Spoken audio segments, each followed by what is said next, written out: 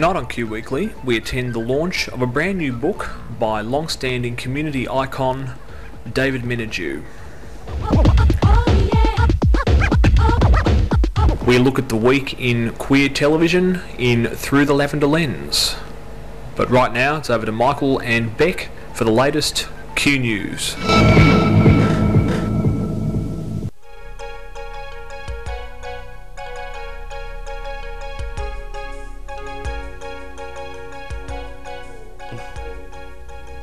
Good evening and welcome to Q Weekly. I'm Beck and here's the current news. Prime Minister John Howard and Deputy Peter Costello this week have announced that they are opposed to same-sex marriages. Howard says it's not an expression of discrimination, it's just that marriage is supposed to be about raising children and the continuation of the human race. Howard feels that those calling for gay marriages do not understand what marriage is all about. Peter Costello says that he respects gay couples, however, marriage is about a man and a woman. Regardless of this, the queer community in Victoria are pushing for children, and it seems to be at the moment that there is a Victorian baby boom happening within the gay community.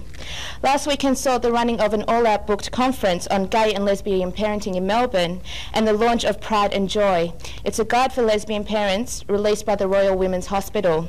Pride and Joy was initiated after holding several for lesbian parenting. Over to you, Michael, for some of the other things that are happening around Melbourne. Thanks, Beck. Yes, the Gay Arab Group are having their second birthday party. It's coming up on uh, Saturday, September the 27th.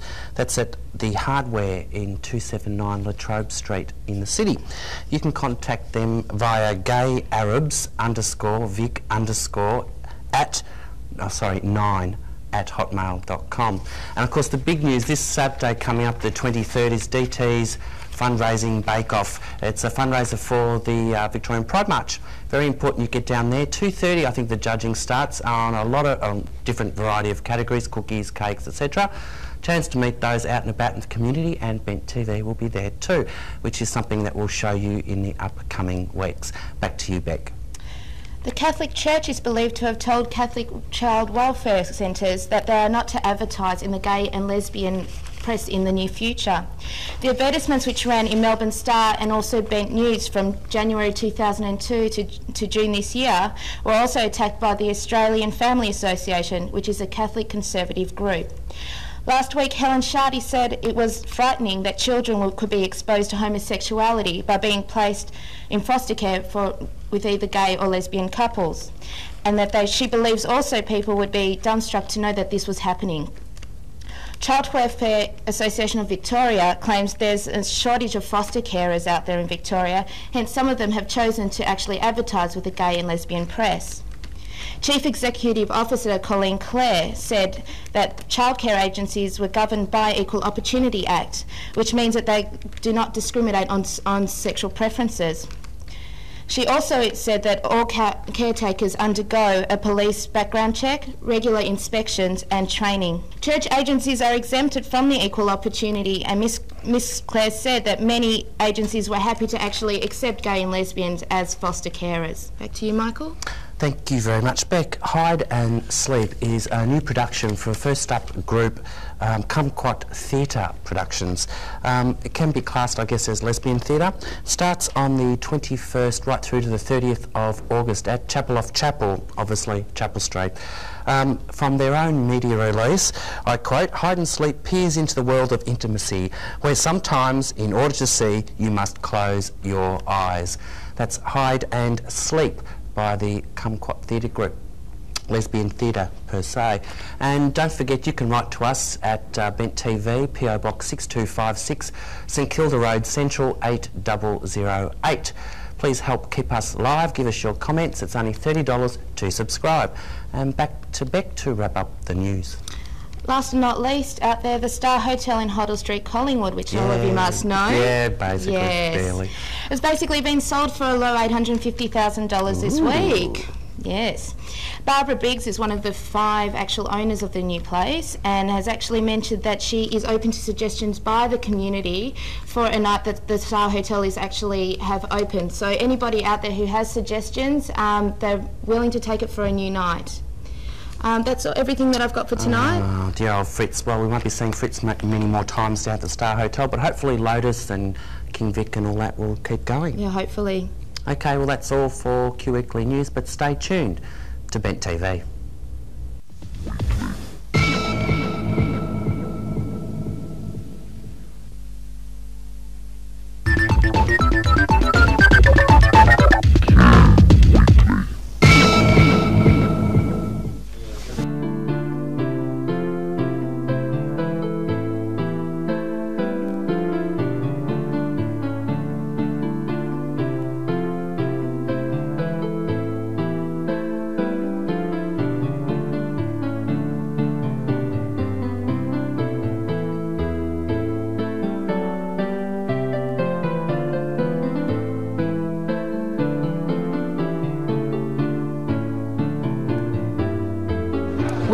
The author of the book here, David Menadue, who's uh, signing as we speak. Now, David, you've been a very inspirational figure in, in HIV/AIDS in Australia. What, what, um, when you were first asked to write this book, what was your first thought? Basically, I wanted to de- demystify AIDS a bit so that people who are positive feel, you know, it's not something, a dreaded, dreaded curse to be carrying around with you. And also, for those people who want to see that someone can survive a long time, I thought it was a useful story just to let people know that I've, I've sort of been through something similar a long time before and when there weren't treatments around, but you know, I think at, at the moment for those positive people who need a bit of a kind of lift, I'd like to think that they take, you know, some sucker out of my book and, and others like it. You must be very proud to, you know, to actually have your book. Hold it up for our camera so. You're very proud? Oh, yes. This was taken over at Point Ormond. Not that I've ever been there before, but no. All right, well, look, we'll be back to you a bit later on after Deputy Premier has launched it. Thank you. Well, thank you very much, Sophie, and uh, I can assure people that, that I haven't left. Uh, I, I'm staying. Can I start by saying uh, it's great that there are so many people who are here tonight, and I really do think that that is a tribute to David. Uh, I mean, and I'm glad to be here with my colleague uh, Michael Danby, who's here, but so many other people. And I know why everyone. I know why everyone's here because you all want to know: Do you get a role in the book? so you'll have. You'll, but you you will have to buy it to see. And, and uh, I can assure you that uh, most of you uh, will be very pleased with the role you play, and so I urge you to buy it. Now, David, uh, this is a this is I think a great book, and I, and I have read it. It's a very honest and straightforward account of, of a life, a life that in some ways uh, is an ordinary life, someone growing up in the bush, coming to the city, but in other ways is extraordinary as a result of the things that have happened to you, the people you've met, but most importantly, the influence, the positive influence that you've had on so many people's lives. It's also a story of David's family, and I think that was one of the interesting things in the book too. Uh, a family coming to terms with uh, David's homosexuality, with his illness, and being very supportive through that. And I think that's probably the reason that. Uh, for David, he's had something a lot of other people uh, who've lived with AIDS haven't had, and, and that comes through strongly. There, there, there's a lot in this book, and I'm not going to go through lots of parts, but there were there were a few a few little things I wanted to mention. I, I was intrigued by the Golden Nine. Are there any people from the Golden Nine who are here? There's a few. There's a few up up, and and I thought that was fascinating. How when David went off to university, he met a bunch of friends that were called the Golden Nine they were just friends. They uh, didn't discuss their sexuality or anything. And then David uh, came to terms uh, with his sexuality. And one night he decided, after a few bottles of Stone's Green ginger wine,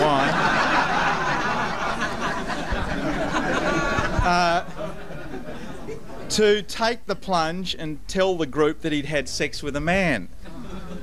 The, uh, go, the book goes on, the floodgates opened seven of the nine of us had been doing the same thing in, in secret for a couple of years. We were all gay, even the two who didn't admit it and came out later. The relief on everyone's face was palpable. Someone had confessed to the secret, and now it was all right to talk. I thought that was that that was fascinating. But it's also a story about David's role in changing community attitudes, in changing people from being uh, negative, scared, to being understanding and positive. It's also a story about the campaign to reduce the incidence of HIV/AIDS and its effect on people. A campaign that, in a in a world sense, has been relatively successful, and a campaign for which David has been one of the key and important players, and that's why he's been acknowledged so much. No, you're on, you're on television. Thank you, John, and thank you, Sophie. You're both two of my heroes, really. You're one of my political heroes for all you've done for people with HIV, John, and I just want to particularly salute you for that.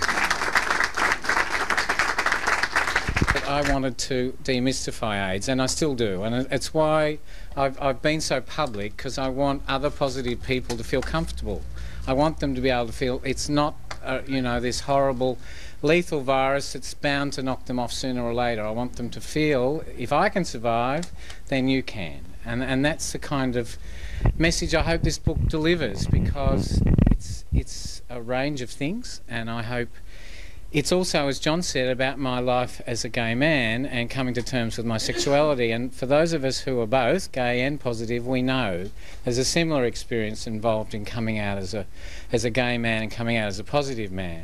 In some respects, um, the positive experience has been more traumatic. Uh, certainly, I found it harder to to talk about that with my family because obviously there was the mortality stuff. But but curiously, I, as you know, those of you that have bought the book will read. I had a difficult relationship with my father, but what happened when I became positive and told him I had AIDS was really quite a moving experience for me. He totally um, responded to me and came uh, to be one of my greatest supports. And I think that all of us who think, you know, some of us have difficulties with our families and our believing that they won't support us, whether we're gay or we're positive or whatever. But, you know, my experience and my sisters and brothers and brother and the, and other members of the family, my nieces there, are all here today, and that is because they've come along on this journey with me, and I really appreciate them being here, and I appreciate other members of the family here.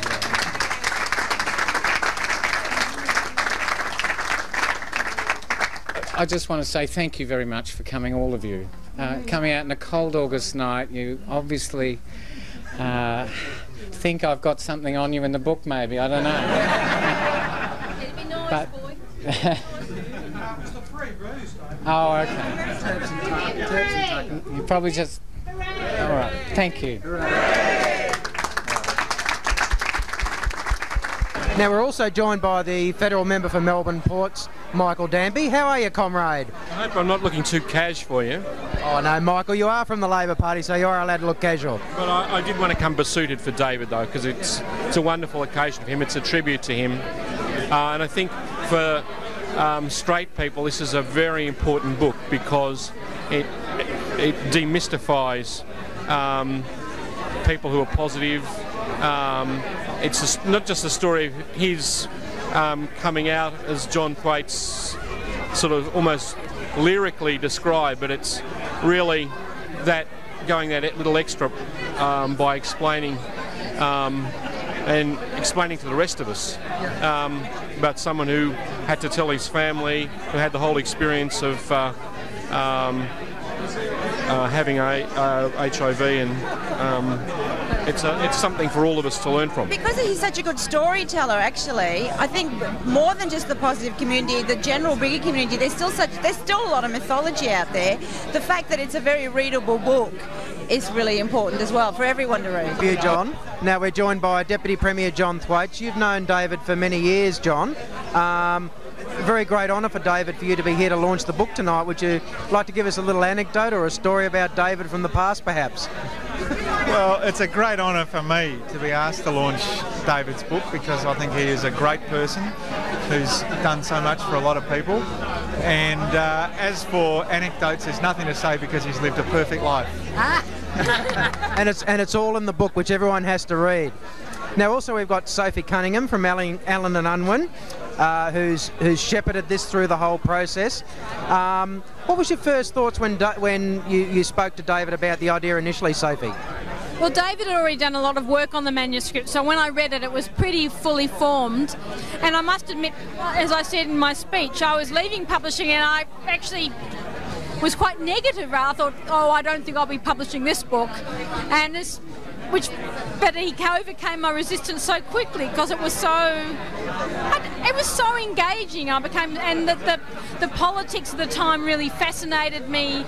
And I found the, the sexual politics challenging. I don't mean the gay stuff, I mean the positive stuff about how do you tell people you're positive and whose responsibility responsibility is it, or is, is it always the positive man's? All that kind of stuff I was really fascinated by, and I just thought David was really brave and honest about everything. I thought he was fantastic, and he is fantastic.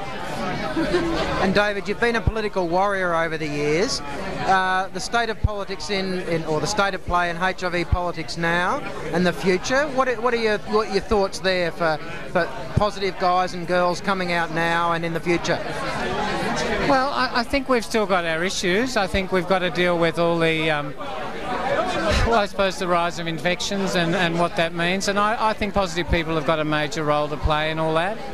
And hopefully, my book, I, I do rail a little bit about internet and barebacking and whether we've sort of tipped the balance a little bit far in the extreme sex sites. But I, I say that, but at the same time, I, I know the majority of gay men practice safe sex and, and that uh, they don't need the message.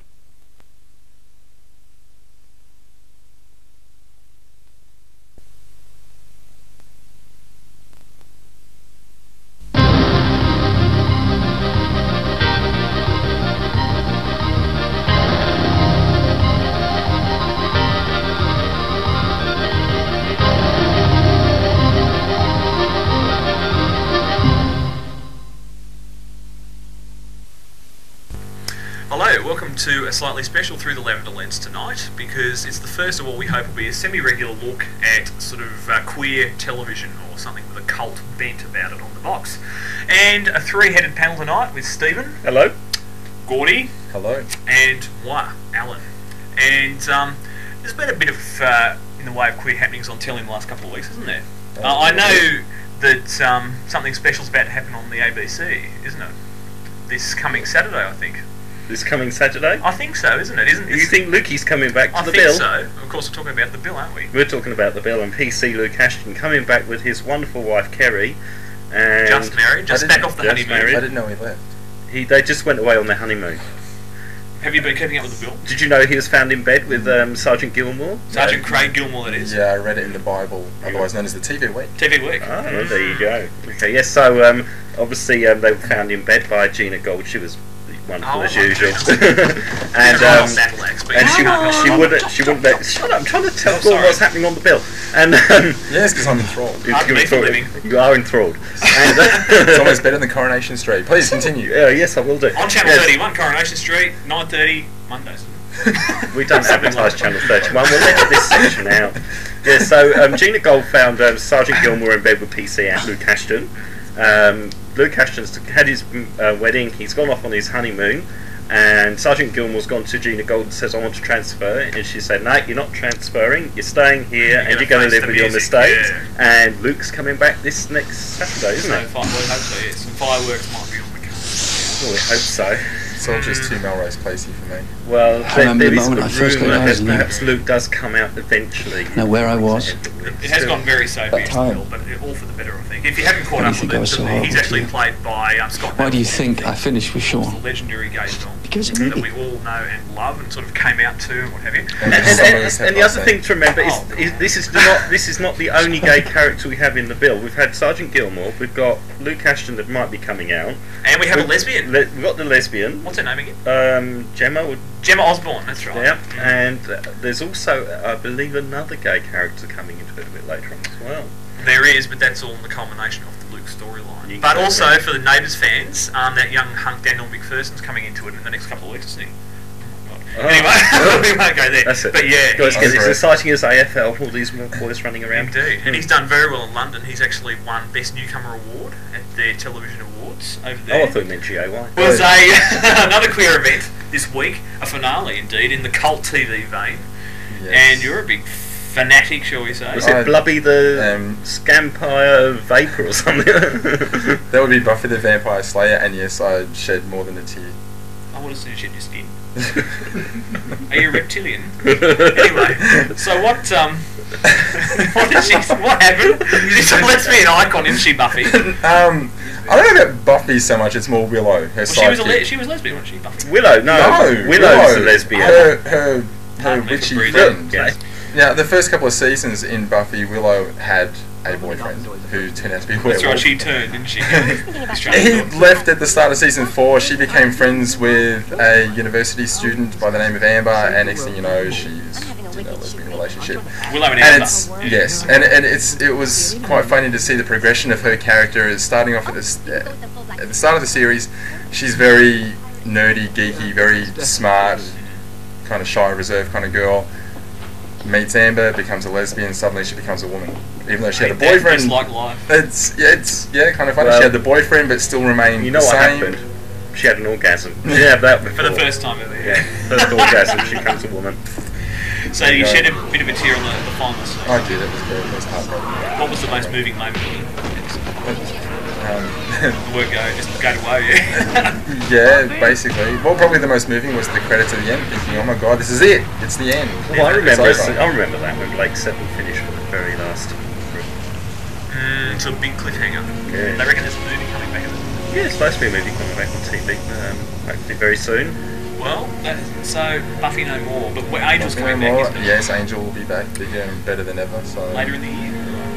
Yeah, I'm guessing about February, March next year. Fantastic. And for the other cult TV fans, if you want to relive your childhood on Channel 9, look out for the original Skippy. It's oh, back on Fri early Saturday mornings, about 5am. Not every week, but a lot of weeks it is. So if you want to see Sonny running around whinging. Oh, so we're talking repeats. Yeah. Yeah. Actually, we, we haven't got time to talk about Skippy. We need another 50 cents for the meter before this light chews up all the oh, electric. Now, So- are we talking old Skippy or original, the, not this new not the half-baked revisited? Skippy Adventures in Bushtown business, but the original Waratah National Park, Matt and Sonny Hammond and Clancy. Shut up.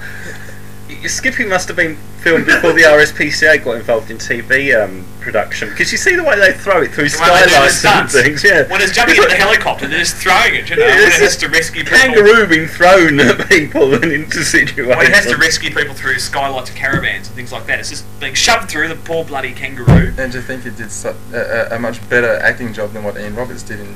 Well, we could Well, have had Skippy well, playing as a bit of a- a that is bouncer, couldn't you? the Matthews boss is gay. well, it'd give you a good kick or a wallop with the tail, wouldn't it? Really. I suppose box Ian Roberts could give you a wallop with something. Okay, where are we going right now? Because I've got no idea. I think we're, going, to wind up, really, shouldn't We're going into the credits, I and thank you should. very much for joining us in the through the Lavender lens once again. And until next time we see you, keep watching. Bye bye. It's Oh, back on Friday, early Saturday mornings, about 5 a.m. Not every week, but a lot of weeks it is. So if you want to see Sonny running around whinging, Oh, so we're talking repeats. Yeah. Yeah. Actually, we, we haven't got time to talk about Skippy. We need another 50 cents for the meter before this light chews up all the electric. Now, So- are we talking old Skippy or original, the, not this new not the half-baked revisited- Skippy Adventures in Bushtown business, but the original Waratah National Park, Matt and Sonny Hammond and Clancy. Shut up. Y- Skippy must have been filmed before the RSPCA got involved in TV um, production because you see the way they throw it through The way they do the skylights and things. Yeah. When it's jumping in the helicopter, they're just throwing it, you know, Yeah, when it has to rescue people. Kangaroo being thrown at people and into situations. When it has to rescue people through skylights of caravans and things like that, it's just being shoved through the poor bloody kangaroo. And to think it did su- a, a, a much better acting job than what Ian Roberts did in. Well, we could Well, have had Skippy well, playing as a bit of a- a that is bouncer, couldn't you? the Matthews boss is gay. well, it'd give you a good kick or a wallop with the tail, wouldn't it? Really. I suppose box Ian Roberts could give you a wallop with something. Okay, where are we going right now? Because I've got no idea. I think we're, We're going, going- to wind up, really, shouldn't We're we? going into the credits, I and thank you should. very much for joining us in the through the Lavender lens once again. And until next time we see you, keep watching. Bye bye.